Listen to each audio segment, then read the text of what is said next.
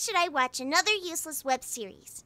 Well, because this one is really clever, funny, wacky, with something to offend everyone, and at the same time tells you the meaning of life. Ah, life sucks.